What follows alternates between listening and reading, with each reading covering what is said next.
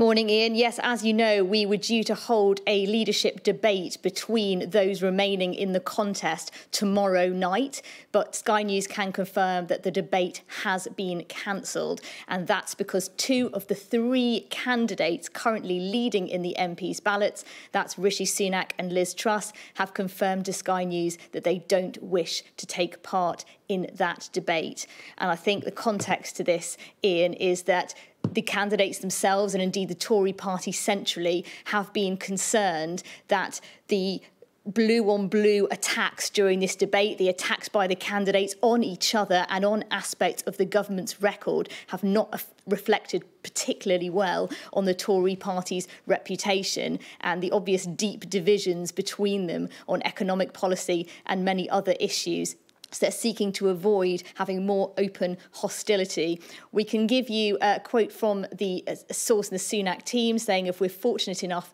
to progress in the contest, we're looking forward to taking part in further debates later in the contest, but we understand that Liz Truss's team will not be taking part in any debates. All right, Tamara, thanks for that.